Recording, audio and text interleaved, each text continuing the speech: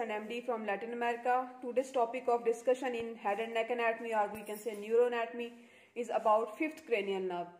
Sequence wise चलना ज़रूरी नहीं है। जो ज़्यादा इंपॉर्टेंट नर्व्स हैं उसको सबसे पहले डिस्कस करेंगे उसके बाद हम uh, दूसरी नर्व्स को भी साथ साथ लेते चलेंगे। तो फिफ्थ नर्व जिसको हम ट्राइजेमिनल नर्व कहते हैं ये मोस्ट इंपॉर्टेंट है। इसके अलावा फेशियल नर्व बहुत ज़्यादा इसमें से काफ़ी ज़्यादा क्वेश्चन आते हैं तो उसको भी डिस्कस करेंगे इनशाला बाकी छोटी छोटी नर्व्स उनको भी डिस्क्राइब करेंगे। तो फिफ्थ नर्व को सबसे पहले डिस्कस करते हैं। फिफ्थ नर्व जिसको हम ट्राइजेमिनल नर्व कहते हैं इसके सबसे पहले हम न्यूक्लियस के बारे में देखते हैं। तो इसमें हमारे पास है तीन सेंसरी न्यूक्लियस होते हैं और एक इसका मोटर न्यूक्लियस होता है। टोटल मिला के चार न्यूक्लियस होते हैं, ठीक है? जो तीन सेंसरी न्यूक्लियस है, उसको हम एम एम एस भी कह देते हैं, ठीक है? एम एम एस अब वो सेंसरी न्यूक्लियस कौन कौन से हैं? मिजनसिफेलिक न्यूक्लियस ठीक है? मेन सेंसरी न्यूक्लियस और स्पाइनल न्यूक्लियस ये तीन इसके न्यूक्लियस होते हैं, ठीक है? Mesencephalic nucleus main sensory nucleus और स्पाइनल न्यूक्लियस ये तीनों के तीनों जो एम एम एस वाले न्यूक्लियस हैं, ये कहाँ मौजूद होते हैं? आपकी पोन्स के अंदर प्रेजेंट इन पोन्स क्योंकि हमने देखा था ना कि हमारे पास वन टू थ्री और four first cranial nerve second third और फोर्थ क्रेनियल नर्व ये मिड ब्रेन में होती हैं. Five seven five, six, seven, eight जो है, ये हमारे पास पोन्स में होती हैं, ठीक है? नाइन, टेन, इलेवन, ट्वेल्व ये हमारी मेडुला ऑब्लोंगेटा में होती हैं। तो ये ऑब्वियसली हम फिफ्थ नर्व की बात कर रहे हैं तो इसलिए इन सब के सब के जो न्यूक्लियस हैं, वो कहाँ पे होंगे? पोन्स के अंदर मौजूद होंगे। अच्छा इसके बाद ये एम एम एस हमने पढ़ लिया, जो कि इसके तीन सेंसरी न्यूक्लियस हैं। इसके अलावा ये हमने देखा था कि हमारे पास ये मिक्सड नर्व में आती है। फिफ्थ नर्व जो है, ये मिक्सड नर्व है। सेंसरी और अपना इसके कॉम्पोनेंट्स मिक्सड कॉम्पोनेंट्स हैं, ठीक है? सेंसरी और मोटर दोनों कॉम्पोनेंट्स मिक्स में आते हैं। अच्छा उसके अलावा ये तीन सेंसरी हमने न्यूक्लियस पढ़ लिया, अब हमारे पास आता है एक मोटर न्यूक्लियस होता है, ठीक है? तो सबसे पहले हमने इसके न्यूक्लियस के बारे में स्टडी कर लिया, अब हम इसकी लोकेशन देखते हैं। लोकेशन हमने देखा, हमने पहले भी बात की है फाइव सिक्स सेवन एट ये हमारी सारी जो चारों हैं पोन्स में आती हैं, ठीक है? पोन्स के अंदर मौजूद हैं ब्रेन स्टेम में। लोकेशन क्या है इसकी? वही लेटरल एस्पेक्ट पे है। लेटरल एस्पेक्ट ऑफ़ पोन्स के अंदर ये मौजूद होती है। अब इसके कोर्स की तरफ़ चलते हैं, जो कि बहुत सारे स्टूडेंट्स को ये मुश्किल लगता है, भूल जाते हैं। तो इसका एक न्यूमोनिक बनाया है पी एम एल ए ठीक है? P M L A prime minister Liaquat Ali, ठीक है? इस तरह आप याद रख लेंगे तो आप लोगों को ये भूलेगा नहीं। अब कोर्स क्या है? जैसे ये लेटरल एस्पेक्ट ऑफ़ पोन से ये एग्जिट करती है, निकलती है तो उसके बाद ये सबसे पहले ट्रैवल करती हुई पोस्टीरियर कैनल फोसा तक जाती है ये नाप ठीक है? पोस्टीरियर कैनल फोसा से ये निकलती है, उसके बाद मिडल कैनल फोसा में चली जाएगी। यहाँ पे एक गैंग्लियन होता है, जिसको हम कहते हैं ट्राइजेमिनल गैंग्लियन ठीक है? उसके बाद ये मिडल कैनल फोसा से निकलती है उसके बाद lateral wall of cavernous sinus की तरफ़ निकलती है, यहाँ चली जाती है। Lateral wall of cavernous sinus के बाद ये anterior to medial end of petrous part of temporal bone तक जाती है, ठीक है? तो ये हमने पढ़ लिया P M L A prime minister Liaquat Ali ठीक है? ये निमोनिक आप याद रखेंगे तो आपको इसका कोर्स नहीं भूलेगा। अदरवाइज़ ये इनके कोर्स सबके याद रखना ये बहुत मुश्किल हो जाता है, ठीक है? तो निमोनिक अगर आपको नहीं भूलता तो इसका मतलब आपको कोर्स भी नहीं भूलेगा, ठीक है? पोस्टीरियर ये निकली है लेटर एस्पेक्ट ऑफ़ कौन से एग्जिट किया इसने, यहाँ से निकली उसके बाद ये पोस्टीरियर कैनल फोसा तक पहुँची है। पोस्टीरियर कैनल फोसा से ये चली गई है मिडल कैनलफोसा के अंदर। इसी मिडल क्रैनियल फोसा के अंदर इसका गैंग्लियन पड़ा होता है, जिसको हम ट्राइजेमिनल गैंग्लियन कहते हैं। उसके बाद ये यहाँ से निकलती है, चली जाती है lateral wall of cavernous sinus तक। यहाँ से निकली है, उसके बाद एंटीरियर टू मीडियल एंड जो होता है petrous part of temporal bone यहाँ तक चली जाएगी, ठीक है? जब यहाँ से निकल रही होती है तो ये इसका एंड है। और उसके बाद यहाँ से निकलते हुए जब ये मिडल फोसा तक जा रही होती है पोस्टीरियर फोसा से निकली है मिडल तक गई है, यहाँ पे एक मौजूद होता है ट्राइजेमिनल गैंग्लियन गैंग्लियन मौजूद होता है। तो यहाँ से तीन तरह की इसकी डिवीज़न निकलती हैं। There are three division arise from the trigeminal ganglion ठीक है? ये जो गैंग्लियन मौजूद है इस मिडल फोसा के अंदर, इस गैंग्लियन से आगे जाके तीन तरह की डिवीज़न बड़ी बड़ी निकलती हैं, जिसकी हम आगे जाके पेशेंट के अंदर डिफरेंट क्लिनिकल मैनिफेस्टेशन भी देखते हैं, ठीक है?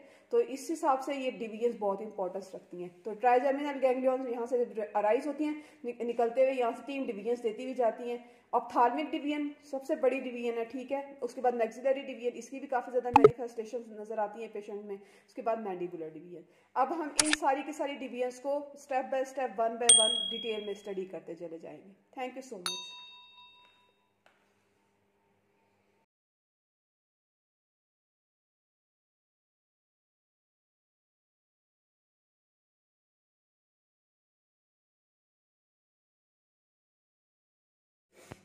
ophthalmic division को सबसे पहले हम फिफ्थ नर्व में जो है वो डिस्क्राइब करेंगे डिटेल से ठीक है?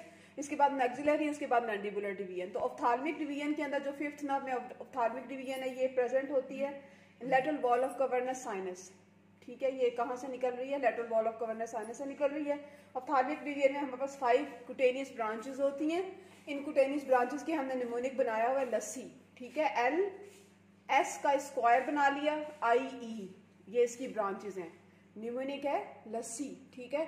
Lacrimal lacrimal nerve supra trochlear nerve है सुप्रा ऑर्बिटल नर्व है इंफ्रा इंफ्राट्रोक्लियर नर्व है एक्सटर्नल नेजल नर्व है। ये बन गया लस्सी ठीक है? इसके अलावा ऑप्थाल्मिक डिवीज़न जो है, इसको हमने डिवाइड किया हुआ है तीन ब्रांचेस के अंदर, जो इसकी मेन ब्रांचेस हैं नेजोसीलरी फ्रंटल और लैक्रिमल नर्व ठीक है? नेजोसीलरी फ्रंटल और लैक्रिमल नाव इसका निमोनिक बनाया नफल। नफल, जो हम पढ़ते हैं ना, नफल।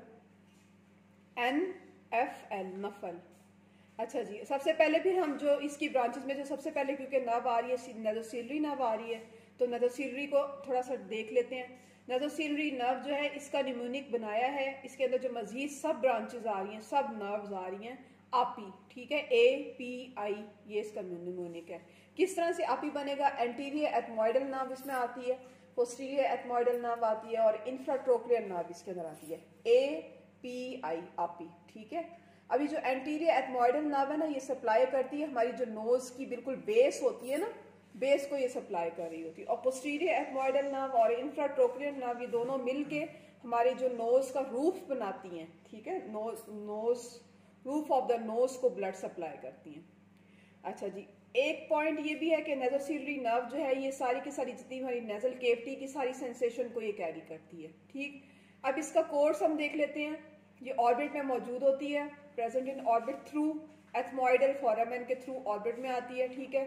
फिर एथमोइडल फॉरमेन से इंटर हो जाती है मिडल करंट फोसा के अंदर, फिर मिडल करंट फोसा से लैंड कर जाती है नेजल केवटी के अंदर। जब नेजल केवटी में जाती है तो आगे जाके हमारे जो नेजल सेप्टम होते हैं, उनको और लेटरल वॉल जो होती है नोज़ की, उसको सप्लाई करती है। ठीक है? उसके बाद and go through nasal foramen of nasal bone फिर नजल बोन के अंदर जो नजल फॉरमन मौजूद है, उसके थ्रू ये कंटिन्यू करती है एज एक्सटर्नल नजल नर्व के तौर पे। ठीक है? और आगे जाके सप्लाई कर देती है बेस ऑफ़ नोज़ को। ये सारी की सारी इसकी ट्रेजेक्ट्री है। ठीक है? ये सारा का सारा इसका कोर्स है, किस किस तरह से जा रही है। इसको हमने यहाँ नमूने बनाया O M C O M C ठीक है? ये छोटा सा ए यहाँ लगा लिए सी ठीक है? ओ एम सी निमोनिक है। ओ ई ऑर्बिट से। ऑर्बिट में मौजूद है किसके थ्रू एथमोइडल फॉरमेन के थ्रू ओ ई ठीक है? फिर इंटर हो रही है मिरर करंट के अंदर। मिरर करंट से आगे लैंड कर जाती है नजल केवटी में जाती है। आगे जाके सप्लाई करती है नजल सेप्टम को और जो नोज़ की लेटरल वॉल होती है उसको, उसके बाद जो नजल बोन के नजल फॉरमेन के थ्रू ही आगे जाके कंटिन्यू करती है as an external nasal nerve और बेस ऑफ़ नोज़ को सप्लाई करती है। आगे जो है मजीद हम अब डिस्कस करेंगे फ्रंटल नर्व को और लैक्रिमल नर्व को। ऑप्थार्मिक डिवीज़न में हमने पहले पढ़ लिया था कि ये lateral wall of cavernous sinus से ये डिवीज़न बनती है। इसकी पाँच कुटेनियस ब्रांचेस हैं, ठीक है? निमोनिक इसका बनाया था? लस्सी से, ठीक है? Lacrimal supratrochlear supra orbital infratrochlear और एक्सटर्नल नेजल नर्व ये हमने बनाई थी। निमोनिक इसका बनाया था? फिर आगे ये ऑप्थाल्मिक डिवीज़न डिवाइड होती है तीन ब्रांचेस के अंदर नेजोसिलरी नर्व फ्रंटल नर्व और लैक्रीमल नर्व जिसका न्यूमेनिक हमने बनाया, नफर। ठीक है? नफर तो इसमें से हमने नेजोसिलरी नर्व पहले स्टडी कर ली है। अब हम लास्ट की जो दो इसकी रह गई हैं नर्व फ्रंटल और लैक्रीमल उसको देख रहे हैं कि फ्रंटल नर्व जो होती है, इसकी आगे जाके दो मजीद ब्रांचेस निकलती हैं। सुप्रा ट्रोक्लियर नर्व होती है और सुप्रा ऑर्बिटल नर्व होती है।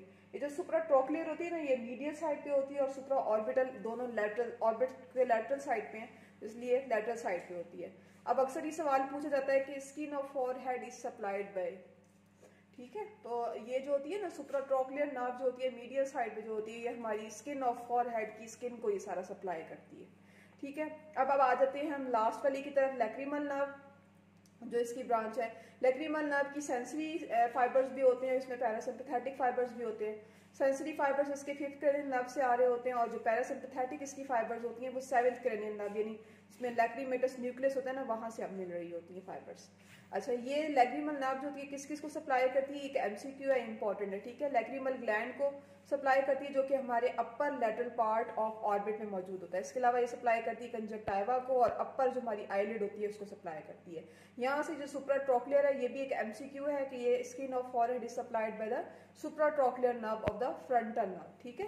तो यहाँ तक इसको अभी एंड करते हैं, उसके बाद हम दोबारा मैक्सिलरी डिवीज़न और मैंडिबुलर डिवीज़न के साथ दोबारा से आते हैं। Thank you so much